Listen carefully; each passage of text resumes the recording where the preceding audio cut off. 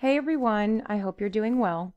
The purpose of this review video is to go over your lesson from Thursday, April 23rd regarding nonfiction texts and objectivity. Together we will go through most of the slides in this Nearpod lesson and we will focus primarily on the objective versus subjective statements and the just the facts section along with your objective summary that you should have written. So there were several assignments that were embedded into this lesson that should have been completed. Here we are at slide one. Um, and I hope that you guys realized you could have clicked this play button down here to listen to the slide being read to you, along with getting some extra information about the topic of nonfiction text and objectivity. So you should have read each slide carefully and listened to the audio. So this is our title slide. Just as a reminder, objective nonfiction is true writing with factual information. So, objective writing can be found in textbooks and manuals, news articles, anything that lacks opinion and includes just factual information about a topic. On the next slide, you were given an example.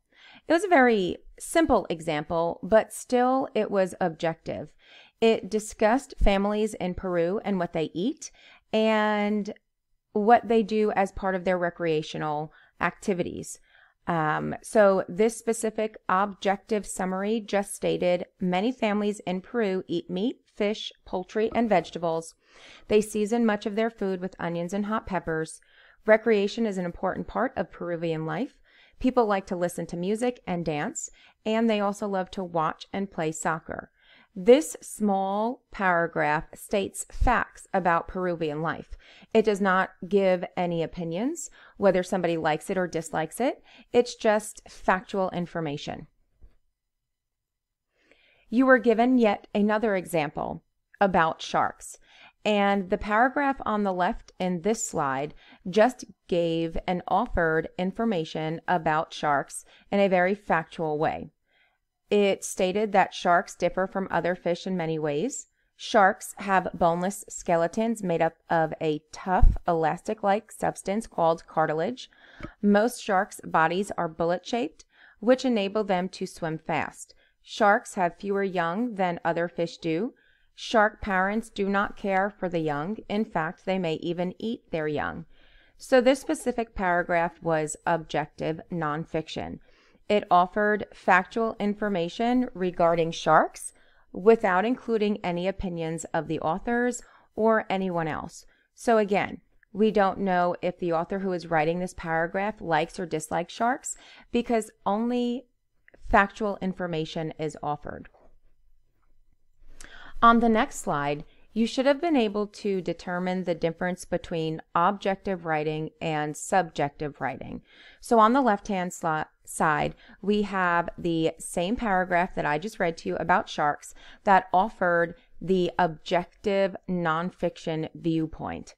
It gave factual information. However, on the right-hand side in this slide, we have the same factual information about sharks, but with more emotionally charged words. For example, it states sharks are the best fish ever, and they differ from other fish in many ways. Sharks are amazing because they have boneless skeletons made of a tough, elastic like substance called cartilage. Most sharks' bodies are beautiful and bullet shaped, which enable them to swim fast. These stunning creatures have fewer young than other fish do. Even though sharks are incredible, shark parents do not care for their young. In fact, they may even eat their young. How crazy is that? It is obvious that sharks are the most interesting fish around.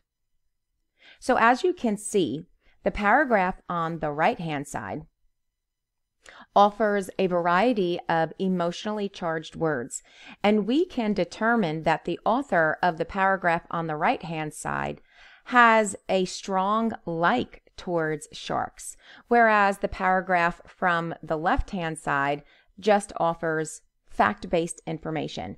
And we can't really determine as readers if the author likes sharks or dislikes sharks. However, we can definitely tell that from our paragraph on the right. Your next slide actually highlighted those emotionally charged words that offer uh, some opinion based ideas. In this case, we have a subjective paragraph about sharks because it includes words that indicate how somebody feels. If I say sharks are the best fish ever, you should understand that I really like sharks and I think that they are great. Along with using the words amazing, beautiful, stunning, incredible, and most interesting, those words definitely show and prove that the author of the paragraph on the right hand side or the subjective paragraph has a strong like toward sharks. Whereas the objective paragraph just includes fact information, fact based information, and doesn't offer an opinion whether somebody likes or dislikes something. So when we talk about objective versus subjective writing, there's a couple things that we have to make sure, especially when it comes to nonfiction. We do have to make sure that nonfiction writing is true and factual um, and real about real people, about real things. Objective writing, however, is just strictly factual. Subjective writing includes emotionally charged words or words that state or identify somebody's opinions or feelings towards something.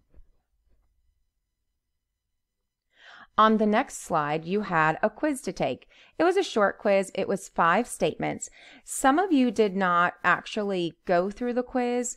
Um, we were able to tell in our Nearpod reports that you just kind of skimmed through the slides. Remember, if you have a Nearpod, you're most likely going to have several different activities included. For this activity, you just needed to determine if the statement on top was subjective or non sorry, subjective or objective. So if I have Snake Island is the strangest, most terrifying place on the planet, we would say that that is a subjective statement. The word strangest indicates somebody's opinion.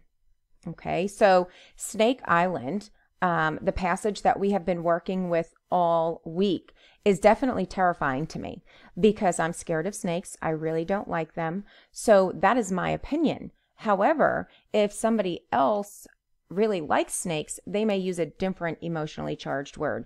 So the word strangest and most terrifying place or terrifying indicates somebody's feelings towards this subject matter. So it would definitely be a subjective statement because it includes opinions.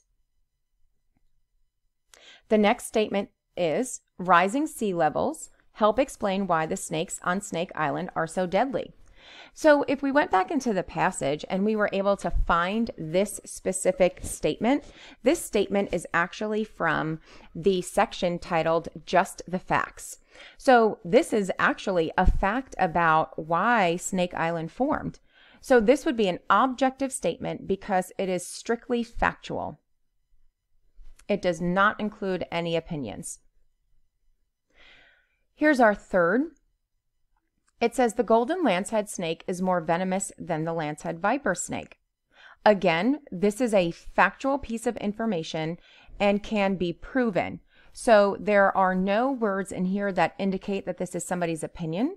This is a fact based piece of information that is explicitly stated within the text. So that would be an objective statement or a statement that does not include opinions. Question four. The pirate theory actually sounds plausible, even though it is not true.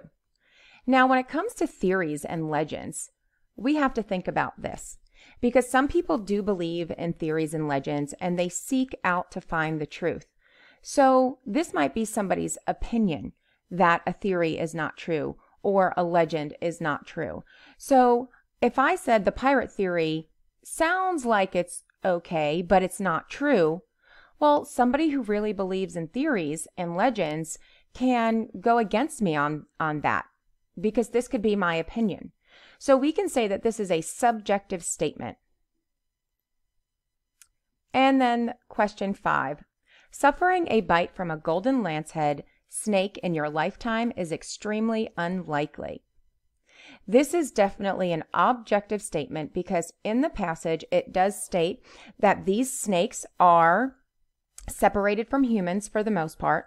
um, and they just roam the Snake Island. Okay. And if humans are not allowed to go to Snake Island, then it's very unlikely that a human should be bitten by one of these snakes. Okay. So um, we can say that this is an objective statement. Okay. On this slide, you should have watched this video that was embedded about objective writing because it definitely would have helped you when it came to your objective summary that you should have written for um, one of your activities that were embedded in this Nearpod. For this specific section, I hope you guys read the directions because up here it says reread the section just the facts within the passage. Brazil's Snake Island Legend Meets Science. Match each paragraph with its objective summary. So again, for this section, you should have reread the section just the facts within the passage. It was highly suggested that you kept the passage open um, so that you can refer back to the text as often as needed. Now, I do have the section just the facts in its own document right here. So if we were to read each paragraph and then identify the main idea, we would have been able to match each of those paragraphs with their objective summary. Part two of this review will go over the matching that you had to do for each of these paragraphs and their objective summary.